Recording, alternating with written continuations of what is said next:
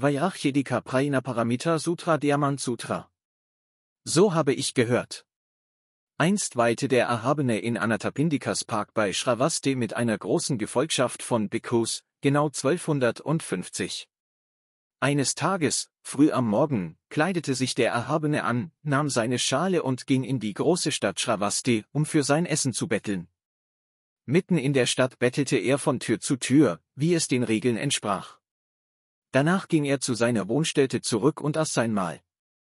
Als er es beendet hatte, legte er sein Gewand und seine Bettelschale zur Seite, wusch seine Füße, legte seinen Sitz zurecht und setzte sich nieder. Nun saß inmitten der Versammlung der ehrenwerte Soputi. Sodann erhob dieser sich, entblößte seine rechte Schulter, kniete sich auf sein rechtes Knie, erhob voll Achtung seine Hände, deren Handflächen sich berührten und sagte zum Erhabenen. Erhabener, es ist äußerst kostbar, wie der Tathagata auf alle Bodhisattvas achtet und sie so gut schützt und unterweist. Erhabener, wenn gute Männer und gute Frauen die Vollendung der unvergleichlichen Erleuchtung suchen, was sollten sie beachten, und wie sollten sie ihre Gedanken überwachen? Der Erhabene sagte, sehr gut, Subhuti. Genau wie du sagst, achtet der Tathagata ständig auf seine Bodhisattvas, schützt und unterweist sie gut. Höre nun und nimm meine Worte in dein Herz. Ich will dir erklären, was gute Männer und gute Frauen, die die Vollendung der unvergleichlichen Erleuchtung suchen, beachten sollten und wie sie ihre Gedanken überwachen sollten. Soputi sagte, Erhabener, ich bitte darum, tue es. In freudiger Erwartung sehnen wir uns, es zu hören. Der Erhabene sagte, Soputi, all die Bodhisattva-Helden sollten ihr Denken in folgender Weise schulen. Alle lebenden Wesen, in welchen Bereichen auch immer sie sein mögen, ob aus einem Ei, einem Schoß, aus der Feuchte oder aus Umwandlung geboren, ob mit Form oder ohne Form, ob in einem Zustand des Denkens oder frei von der Notwendigkeit zu denken, oder gänzlich jenseits aller Denkbereiche, all diese Wesen werde ich leiten, bis sie grenzenloses Freisein, Nirvana erreicht haben. Wenn auch eine gewaltige, unzählbare, unermessliche Anzahl von Wesen schon befreit wurde, so wurde doch überhaupt kein Wesen befreit. Warum, so Puti?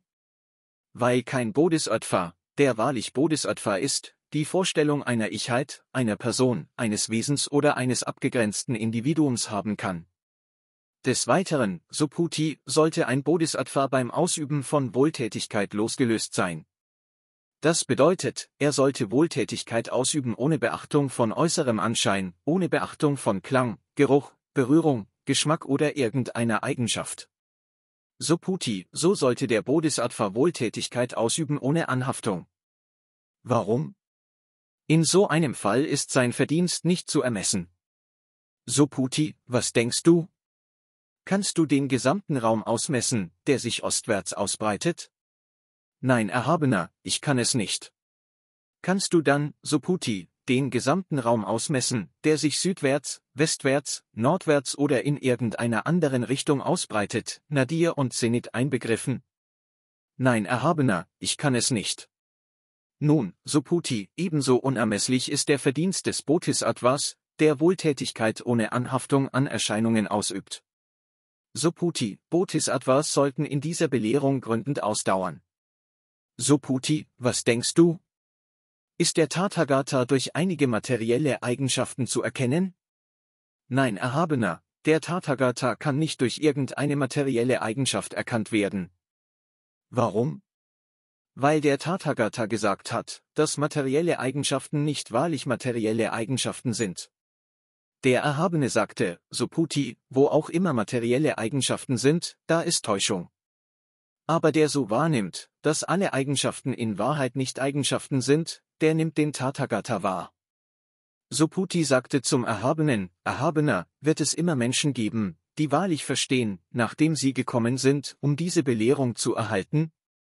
Der Erhabene antwortete, Suputi, äußere nicht solche Worte. Am Ende der letzten 500-Jahresperiode, die dem Dahingehen des Tathagata folgt, wird es selbstbeherrschte Menschen geben, die in Verdienst wurzeln, die kommen, um diese Belehrung zu hören, die von Verstehen inspiriert sein werden, aber du solltest einsehen, dass solche Menschen die Wurzel ihrer Verdienste nicht nur unter einem Buddha oder zwei Buddhas oder drei oder vier oder fünf Buddhas gefestigt haben, sondern unter zahllosen Buddhas. Und ihr Verdienst ist von jeder Artikel. In solchen Menschen, die kommen, um diese Belehrung zu hören, wird reines Vertrauen unmittelbar aufsteigen. Und der Tathagata wird sie erkennen. Ja, er wird all diese reinen Herzen klar wahrnehmen und die Größe ihrer moralischen Vortrefflichkeit. Warum? Weil solche Menschen nicht zurückfallen, um die Vorstellung einer Ichheit, einer Persönlichkeit, eines Wesens oder einer abgegrenzten Individualität zu hegen. Weiter werden sie nicht zurückfallen, um Vorstellungen wie Freisein von inneren Eigenschaften zu hegen. Warum? Weil, wenn solche Menschen ihrem Denken erlaubten, alles zu ergreifen und festzuhalten, dann würden sie die Idee einer Ichheit, einer Persönlichkeit, eines Wesens oder einer abgegrenzten Individualität hegen. Und wenn sie die Vorstellung von Begriffen wie Besitz von inneren Eigenschaften ergriffen und daran festhielten, dann würden sie die Vorstellung einer Ichheit, einer Persönlichkeit, eines Wesens oder einer abgegrenzten Individualität hegen. Gleichermaßen, wenn sie die Vorstellung von Begriffen wie Freisein von inneren Eigenschaften ergriffen und daran festhielten, so würden sie die Vorstellung einer Ichheit, einer Persönlichkeit, eines Wesens oder einer abgegrenzten Individualität hegen. So solltest du nicht Begriffen wie Besitz von inneren Eigenschaften oder Freisein von inneren Eigenschaften anhängen. Das ist der Grund, warum der Tathagata immer diese Aussage lehrt, meine Lehre vom guten Gesetz gleicht einem Floss. Die Buddha-Lehre muss aufgegeben werden, um wie viel mehr muss dies die Irrlehre. So Puti, was denkst du? Hat der Tathagata die Vollendung der unvergleichlichen Erleuchtung erreicht? Hat der Tathagata ein Dharma zu verkünden? Soputi antwortete, wie ich die Lehre des Erhabenen verstehe, gibt es keine Fassung der Wahrheit, die Vollendung der unvergleichlichen Erleuchtung genannt wird. Darüber hinaus hat der Tathagata gesagt, dass Wahrheit unfassbar und nicht auszudrücken ist. Weder ist sie, noch ist sie nicht. Deswegen ist dieser unfassbare Grundsatz die Begründung der verschiedenen Lehrweisen aller Weisen. So Puti, was denkst du? Wenn jemand 3000 Galaxien von Welten mit den sieben Schätzen füllte und alles als Gaben von Almosen weggebe, würde er somit großen Verdienst erwerben? So Puti sagte, tatsächlich groß, erhabener. Warum? Weil Verdienst die Beschaffenheit von Nichtverdienst in sich trägt, bezeichnet der Tathagata den Verdienst als groß. Dann sagte der Erhabene, andererseits, wenn jemand auch nur vier Zeilen dieser Belehrung empfinge und behielte und sie anderen lehrte und erklärte, so würde sein Verdienst größer sein. Warum? Weil, so Puti, von dieser Belehrung alle Buddhas und die Lehren aller Buddhas über die Vollendung der unvergleichlichen Erleuchtung ausgehen. Soputi, was da die von Buddha gegebene Religion genannt wird, ist in Wahrheit nicht Buddha-Religion. Soputi, was denkst du? Sagt ein Schüler, der in den Strom des heiligen Lebens eingetreten ist, in sich selbst, ich erlange die Frucht eines in den Strom eingetretenen. Soputi sagte, nein, Erhabener. Warum? Weil ein in den Strom eingetretener nur ein Name ist. Es gibt keinen Stromeintritt. Der Schüler, der nicht Form, Klang, Geruch, Geschmack, Berührung oder anderen Eigenschaften Beachtung schenkt, der wird ein in den Strom eingetretener genannt. So Puti, was denkst du? Sagt ein Adept, dem nur eine einzige Wiedergeburt bevorsteht, in sich selbst, ich erlange die Frucht eines nur noch einmal Wiederkommenden. So Puti sagte, nein, Erhabener. Warum? Weil nur noch einmal Wiederkommen nur ein Name ist. Es gibt kein Verscheiden, noch gibt es einen Eintritt ins Dasein. Das wird nur noch einmal Wiederkommen genannt. So Puti, was denkst du? Sagt ein Ehrenwerter, der nie mehr als Sterblicher wiedergeboren wird, in sich selbst, ich erlange die Frucht eines nicht Wiederkommenden? So Puti sagte, nein, Erhabener. Warum? Weil nicht Wiederkommender nur ein Name ist. Es gibt kein Nicht-Wiederkommen, deshalb die Benennung Nicht-Wiederkommender. So Puti, was denkst du? Sagt ein Heiliger in sich selbst, ich habe vollkommene Erleuchtung erlangt? So Puti sagte, nein, Erhabener. Warum? Weil es keinen solchen Zustand gibt, wie den, der vollkommene Erleuchtung genannt wird. Erhabener, wenn ein Heiliger der vollkommenen Erleuchtung in sich sagte, so bin ich, so würde er zwangsläufig die Vorstellung einer Ichheit, einer Persönlichkeit, eines Wesens oder einer abgesonderten Individualität hegen. Erhabener, wenn der Buddha erklärt, dass ich inmitten der Menschen im Yoga der vollkommenen Stille, im Verweilen in Zurückgezogenheit und im Freisein von Leidenschaften herausrage, so sage ich nicht in mir selbst, ich bin ein Heiliger der vollkommenen Erleuchtung, frei von Leidenschaften. Erhabener, wenn ich in mir sagte, so bin ich, so würdest du nicht erklären, so Puti empfindet Glückseligkeit beim Verweilen in Frieden, in Zurückgezogenheit inmitten des Waldes. Das ist so, weil Soputi nirgendwo verweilt, daher wird er Soputi, freudevoll, verweilender in Friede, Verweiler in der Waldzurückgezogenheit genannt. Soputi, was denkst du? In ferner Vergangenheit, als der Tathagata bei Dipankara Buddha weilte, war er da auf irgendeiner Stufe von Vollendung im Dharma. Nein, Erhabener. Als der Tathagata bei Dipankara Buddha weilte, war er auf keiner Stufe von Vollendung im Dharma. So Puti, was denkst du? Erzeugt ein Bodhisattva irgendwelche erhabenen Buddha-Reiche? Nein, erhabener. Warum? Weil Erzeugen von erhabenen Buddha-Reichen kein erhabenes Erzeugen ist. Es ist nur ein Name. Daher, Suputi, sollten alle Bodhisattvas, kleinere und große, ein reines, leuchtendes Bewusstsein entwickeln, das nicht von Klang, Geschmack, Berührung, Geruch oder irgendeiner Eigenschaft abhängt. Ein Bodhisattva sollte ein Bewusstsein entwickeln, das sich auf gar keiner Sache festsetzt. Und so sollte er das einrichten. Soputi, für eine menschliche Geisteshaltung mag das vergleichbar sein mit der Größe des mächtigen Berges Sumeru.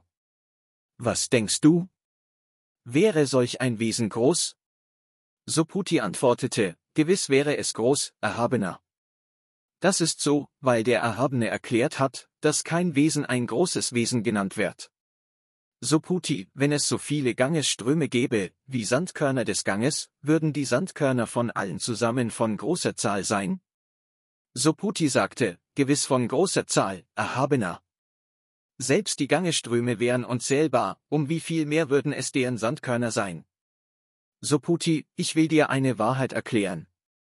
Wenn ein guter Mann oder eine gute Frau für jedes Sandkorn aus all jenen Gangesströmen 3000 Galaxien von Welten mit den sieben Schätzen füllte, würde er großen Verdienst erlangen? Soputi antwortete, gewiss groß, erhabener. Dann erklärte der Erhabene, nichtsdestoweniger, Suputi, wenn ein guter Mann oder eine gute Frau diese Belehrung nur so weit ergründet, um vier Zeilen zu empfangen und zu behalten und sie anderen lehrt und erklärt, würde der daraus folgende Verdienst weit größer sein. Darüber hinaus, Suputi, solltest du wissen, wo auch immer diese Belehrung verkündet wird, und seien es auch nur vier Zeilen davon, dieser Platz sollte von allen Reichen der Götter, Menschen und Titanen verehrt werden, als ob es eine Stätte Buddhas sei. Um wie viel mehr gilt das für die Begegnung mit einem, der fähig ist, das Gesamte zu behalten und es vollständig darzulegen. Soputi, du solltest wissen, dass ein solcher die höchste und wundervollste Wahrheit erlangt. Wo auch immer diese heilige Belehrung verkündet werden mag, da solltest du dich einstimmen wie in der Gegenwart des Buddha und ehrenwerter Schüler. Zu dieser Zeit richtete sich Soputi an den Buddha und sagte, Erhabener, unter welchem Namen sollte diese Belehrung bekannt werden und wie sollten wir sie empfangen und behalten? Der Erhabene antwortete, Soputi, diese Belehrung sollte bekannt werden als Vairachedika Praina Paramita, der Diamant der Vollendung der transzendentalen Weisheit, so sollst du sie empfangen und behalten. Soputi, was ist der Grund hierfür? In Übereinstimmung mit dem Dharma ist die Vollendung der transzendentalen Weisheit nicht wirklich eine solche.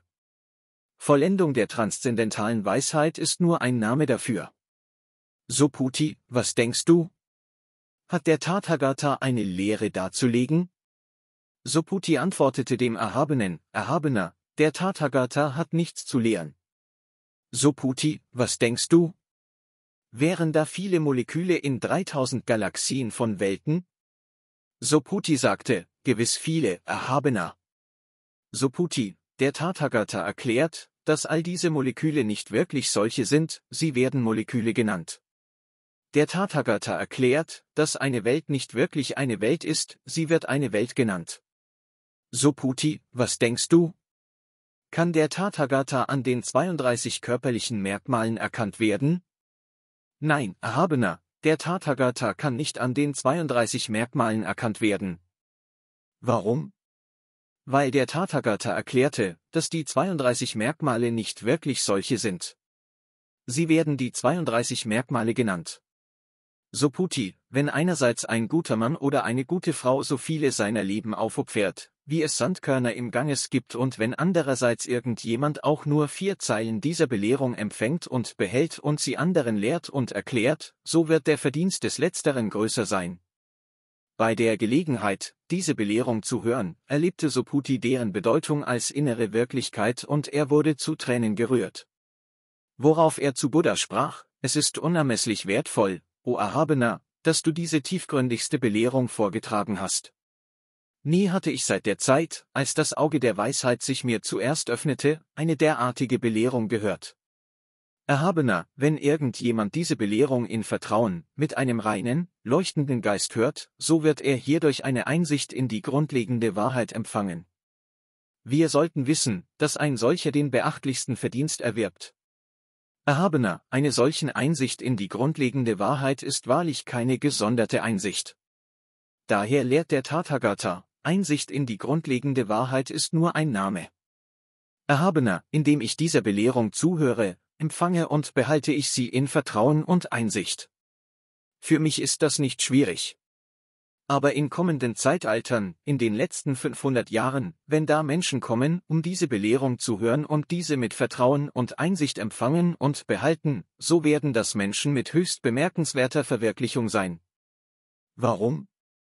Weil sie frei sein werden von der Vorstellung einer Persönlichkeit, frei von der Vorstellung eines Wesens und frei von der Vorstellung einer abgegrenzten Individualität. Und warum? Weil das Hervortun einer Ichheit irreführend ist. Gleichermaßen ist das Hervortun einer Persönlichkeit oder eines Wesens oder einer abgegrenzten Individualität irreführend. Folglich werden all jene, die alle Unterscheidung in den Erscheinungen zurückgelassen haben, Buddhas genannt. Der Erhabene sagte zu Soputi, genau wie du sagst. Wenn irgendjemand dieser Belehrung zuhört, der weder voll Beunruhigung, noch voll Scheu, noch voll Angst ist, sei gewiss, dass ein solcher von bemerkenswerter Verwirklichung ist. Warum? weil, so Puti, der Tathagata lehrt, dass die erste Vollkommenheit nicht wirklich die erste Vollkommenheit ist. Solches ist nur ein Name. Soputi, der Tathagata lehrt gleichermaßen, dass die Vollkommenheit in Geduld nicht die Vollkommenheit in Geduld ist. Solches ist nur ein Name. Warum? Es wird auf diese Weise gezeigt, Soputi. Als der König von Kalinga meinen Körper verstümmelte, zu dieser Zeit war ich frei von der Vorstellung einer Ichheit, einer Persönlichkeit, eines Wesens und einer abgegrenzten Individualität. Warum?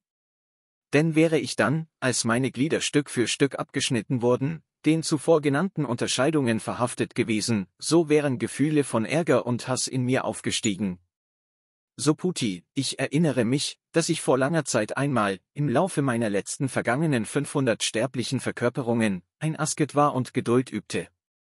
Sogar damals war ich frei von jenen Unterscheidungen abgesonderter Ichheit. Daher, Soputi, sollen Bodhisattvas jede Unterscheidung in den Erscheinungen zurücklassen und das Bewusstsein der Vollendung der unvergleichlichen Erleuchtung erwecken, indem sie dem Geist nicht erlauben, an Eindrücken zu haften, die von der sinnlichen Welt hervorgerufen werden, indem sie dem Geist nicht erlauben, an Eindrücken zu haften, die durch Klänge, Gerüche, Geschmacksempfindungen, Berührungen oder sonstige Eigenschaften hervorgerufen werden.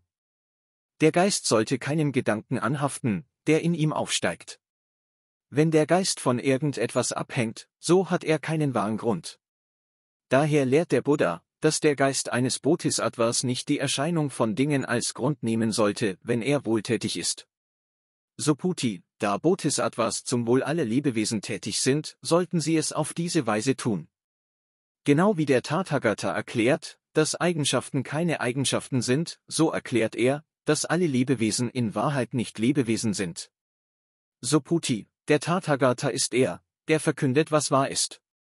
Er, der verkündet, was grundlegend ist. Er, der verkündet, was endgültig ist. Er verkündet nicht das, was Täuschung ist, noch das, was absonderlich ist. Soputi, diese Wahrheit, die der Tathagata erreichte, ist weder wirklich noch unwirklich. Soputi, wenn ein Bodhisattva wohltätig ist mit einem an Dharma haftenden Geist, gleicht er einem Mann, der blind im Dunkeln tappt. Aber ein Bodhisattva, der wohltätig ist mit einem von jeglichem Dharma gelösten Geist, der gleicht einem Mann mit offenen Augen in der strahlenden Pracht des Morgens, dem jeder Gegenstand klar sichtbar ist.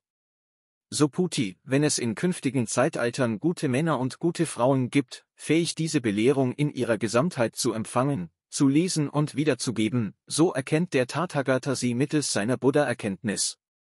Und jeder von diesen wird unermesslichen und nicht zu berechnenden Verdienst erwirken. So Puti, wenn einerseits ein guter Mann oder eine gute Frau am Morgen so viele wohltätige Taten der Selbstverleugnung ausübte, es es Sandkörner im Ganges gibt und nochmals so viele zur Mittagszeit und nochmals so viele am Abend und dieses tun übten sie während zahlloser weiterer Zeitalter aus und, wenn andererseits irgendjemand diese Belehrung mit vertrauensvollem Herzen und ohne Streitigkeit anhörte, so würde letzterer gesegneter sein.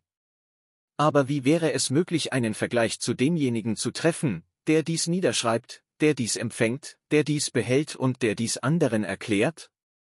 So Puti, wir können dieses Anliegen zusammenfassen, indem wir sagen, dass der wahre Wert dieser Belehrung weder erfassbar noch abschätzbar ist, noch gibt es irgendeine Grenze dafür. Der Tathagata hat diese Belehrung zur Wohltat für die Eingeweihten des höchsten Weges erklärt. Er hat es zur Wohltat der Eingeweihten des höchsten Weges erklärt. Wer auch immer diese Lehre empfangen und behalten kann, sie durchdenken, sie wiedergeben und verbreiten kann, der wird vom Tathagata klar wahrgenommen und erkannt und sein Verdienst wird Vollkommenheit erreichen, jenseits von Maß und Berechnung, eine Vollkommenheit an Verdienst, unbegrenzt und unvorstellbar. In jedem Fall wird ein solcher die Vollendung der unvergleichlichen Erleuchtung des Tathagata erklären. Warum? Weil, Suputi, jene, die in begrenzten Grundsätzen, einschließlich der Vorstellung einer Ichheit, einer Persönlichkeit, eines Wesens oder einer abgegrenzten Individualität Trost finden, sie können diese Belehrung nicht aufnehmen, empfangen, durchdenken, wiedergeben und unverhüllt erklären. Suputi, an jedem Ort, an dem diese Belehrung stattfindet, sollten alle Reiche der Götter, Menschen und Titanen ihre Verehrung darbringen, denn du musst wissen, dass so ein Ort gesegnet ist wie ein Heiligtum und er sollte von allen mit Verbeugung und Umgehung und mit Darbringung von Blumen und Weihrauch achtsam verehrt werden. Weiterhin, Suputi, wenn gute Männer und gute Frauen, die diese Belehrung empfangen und behalten, niedergeschlagen sind, so ist ihr übles Schicksal das unvermeidliche Ergebnis von Vergehen, die sie in ihren vergangenen sterblichen Verkörperungen begangen haben. Durch ihr gegenwärtiges Unglück werden die Rückwirkungen aus ihrer Vergangenheit aufgearbeitet und sie gelangen in einen Zustand, um die Vollendung der unvergleichlichen Erleuchtung zu erreichen. So Puti, ich erinnere mich an die unendlich ferne Vergangenheit, vor die Pankara Buddha. Es gab 84.000 Myriaden von Multimillionen Buddhas und all diesen brachte ich Gaben dar. Ja, diesen diente ich ohne der kleinsten Spur von Fehler. Nichtsdestoweniger, wenn jemand fähig ist, diese Belehrung am Ende der letzten Periode zu empfangen, zu behalten, zu durchdenken und wiederzugeben, wird er solchen Verdienst gewinnen, dass mein Dienst an all den Buddhas nicht den hundertsten Teil davon, nicht einmal den tausendsten Teil davon, nicht einmal den tausend Myriaden Multimillionsten Teil davon ausmachen würde, wahrlich, kein solcher Vergleich ist möglich. So Puti, wenn ich den Verdienst vollständig in Einzelheiten darlegen würde, den gute Männer und gute Frauen gewinnen, wenn sie in der letzten Periode kommen, um diese Belehrung zu empfangen, zu behalten, zu durchdenken und wiederzugeben, so würden meine Zuhörenden mit Zweifel angefüllt werden und ihr Geist könnte verwirrt und argwöhnisch werden und an Vertrauen verlieren. Du solltest wissen, Suputi, dass die Bedeutung dieser Belehrung jenseits von Vorstellungen ist. Gleichermaßen ist die Frucht ihres Gewinns jenseits von Vorstellungen. Zu jener Zeit wandte sich Suputi an den Buddha und sagte, Erhabener, wenn gute Männer und gute Frauen die Vollendung der unvergleichlichen Erleuchtung suchen, nach welchen Merkmalen sollten sie sich ausrichten und wie sollten sie ihre Gedanken überwachen? Der Erhabene antwortete Suputi, gute Männer und gute Frauen, die die Vollendung der unvergleichlichen Erleuchtung suchen, müssen diese entschlossene Einstellung des Geistes erzeugen, ich muss alle Lebewesen befreien, wenn jedoch alle befreit worden sind, so wurde wahrlich kein einziges befreit. Warum? Wenn ein Bodhisattva die Vorstellung einer Ichheit, einer Persönlichkeit, eines Wesens oder einer abgegrenzten Individualität hegt, so ist er folglich kein Bodhisattva, so Puti. Das ist so, weil es in Wirklichkeit keine Regel für das Hereinbrechen der Vollendung der unvergleichlichen Erleuchtung gibt. Was denkst du, Subhuti? Als der Tathagata bei Dipankara Buddha war, gab es da irgendeine Regel zur Erlangung der Vollendung der unvergleichlichen Erleuchtung? Nein, Erhabener. Wie ich die Darlegung des Buddha verstand, gab es keine Regel, durch die der Tathagata die Vollendung der unvergleichlichen Erleuchtung erlangte. Der Erhabene sagte, das ist wahr, Subhuti. Wahrlich, es gab keine Regel, durch die der Tathagata die Vollendung der unvergleichlichen Erleuchtung erlangte. Subhuti, hätte es irgendeine solche Regel gegeben, so hätte die Pankara Buddha über mich nicht vorausgesagt, in kommenden Zeitaltern wirst du zu einem Buddha verwirklichen und Shakyamuni genannt werden. Aber die Pankara Buddha machte diese Voraussage über mich, weil es wahrlich keine Regel zur Erlangung der Vollendung der unvergleichlichen Erleuchtung gibt. Der Grund liegt hierin, dass der Tathagata alle Regeln in sich vereint. Falls irgendjemand sagt, dass der Tathagata die Vollendung der unvergleichlichen Erleuchtung erreicht hat, sage ich dir wahrhaftig, Soputi, dass es keine Regel gibt, durch die der Buddha es erreichte. Soputi, die Grundlage von Tathagatas Erlangung der Vollendung der unvergleichlichen Erleuchtung ist gänzlich jenseits. Weder ist sie wirklich, noch ist sie unwirklich. Daher sage ich, dass der gesamte Bereich der Darstellungen nicht wirklich ein solcher ist. Daher wird er Bereich der Darstellungen genannt. Soputi, zum Vergleich mag eine gewaltige menschliche Gestalt betrachtet werden. Dann sagte Soputi, der Erhabene hat erklärt, dass eine solche keine gewaltige Gestalt ist. Eine gewaltige Gestalt ist nur der Name, der ihr gegeben wurde. Soputi, dasselbe gilt für Bodhisattvas. Wenn ein Bodhisattva ankündigt, ich will alle lebenden Wesen befreien, so wird er nicht der Wahrheit gemäß ein Bodhisattva genannt. Warum? Weil, Suputi, es nicht wirklich einen solchen, Bodhisattva genannten Zustand gibt. Weil der Buddha lehrt, dass alle Dinge leer von Ichheit, leer von Persönlichkeit, leer von Wesenheit und leer von abgegrenzter Individualität sind. Suputi, wenn ein Bodhisattva ankündigt, ich will erhabene Buddha-Reiche erschaffen, so nennt man ihn nicht einen Bodhisattva, weil der Tathagata erklärt hat, dass die Erschaffung erhabener Buddha-Reiche nicht wahrlich eine solche ist. Eine erhabene Erschaffung ist nur der Name, der diesem gegeben wurde. Suputi, Bodhisattvas, die ganz leer von irgendeiner Vorstellung abgesonderter Selbstheit sind, werden wahrhaft Buddhas genannt. Suputi, was denkst du? Besitzt der Tathagata das menschliche Auge? Ja, Erhabener, er besitzt es. Nun, denkst du, dass der Tathagata das göttliche Auge besitzt? Ja, Erhabener, er besitzt es. Und denkst du, dass der Tathagata das Wissen der Auge besitzt? Ja, Erhabener, er besitzt es. Und denkst du, dass der Tathagata das Auge der transzendenten Weisheit besitzt? Ja, Erhabener, er besitzt es. Und denkst du, dass der Tathagata das Auge der Allwissenheit besitzt?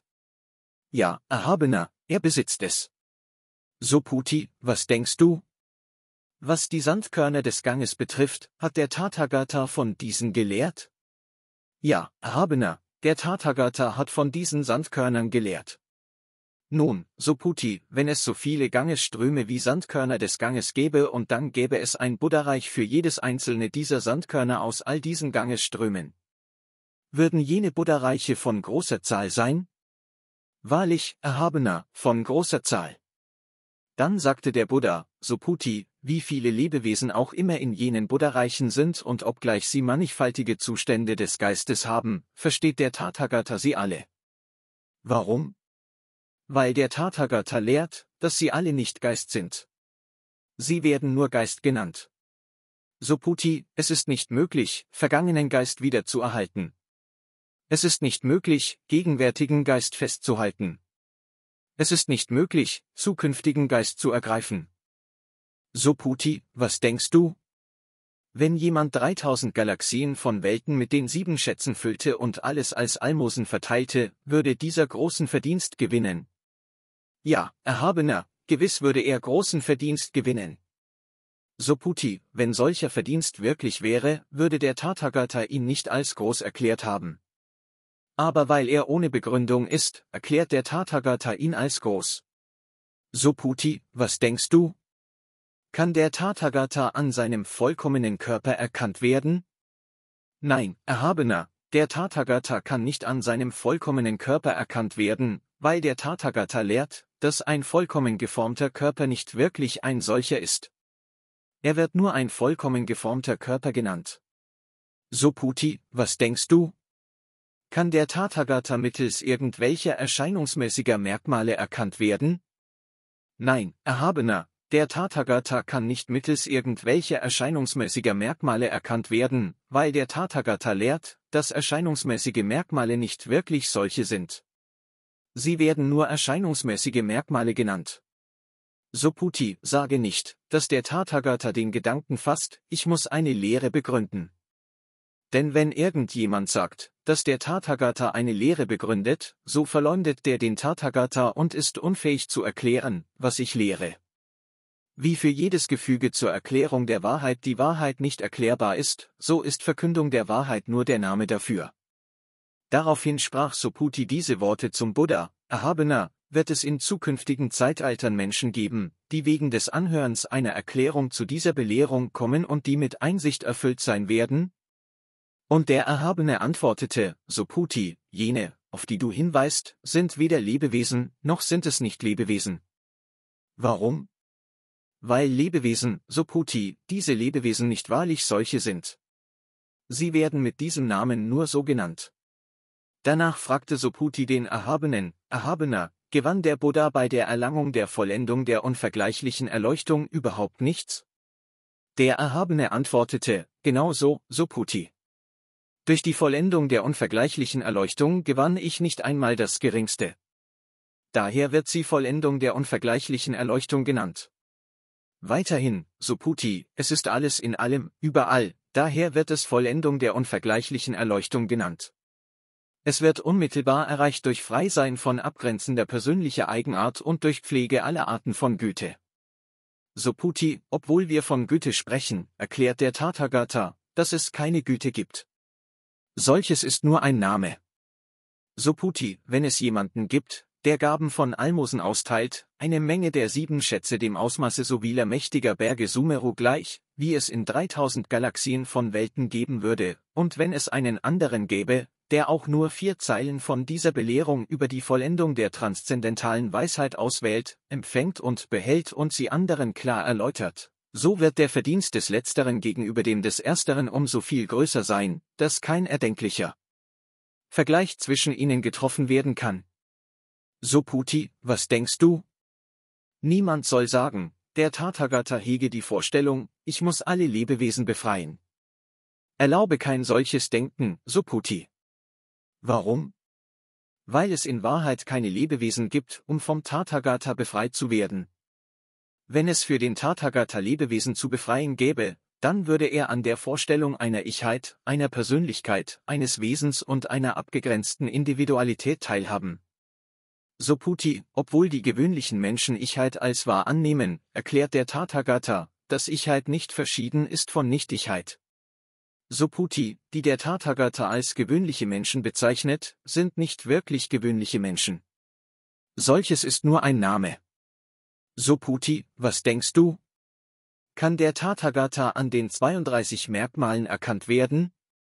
Soputi antwortete, ja, gewiss kann der Tathagata daran erkannt werden. Der Erhabene sagte, Soputi, wenn der Tathagata an solchen Merkmalen erkannt werden kann, so ist jeder große Herrscher dasselbe wie der Tathagata. Dann sagte Soputi zum Erhabenen, Erhabener, wie ich die Worte des Buddha verstand, kann der Tathagata nicht an den 32 Merkmalen erkannt werden. Worauf der Erhabene diesen Vers äußerte. Wer mich als Form sieht, wer mich als Klang sucht. Verkehrt sind dessen Schritte auf dem Weg, der kann den Tathagata nicht wahrnehmen. Soputi, wenn du die Vorstellung hegst, dass der Tathagata die Vollendung der unvergleichlichen Erleuchtung aufgrund seiner vollkommenen Form erreichte, so behalte solches Denken nicht bei. Das Erreichen des Tathagata geschah nicht aufgrund seiner vollkommenen Form.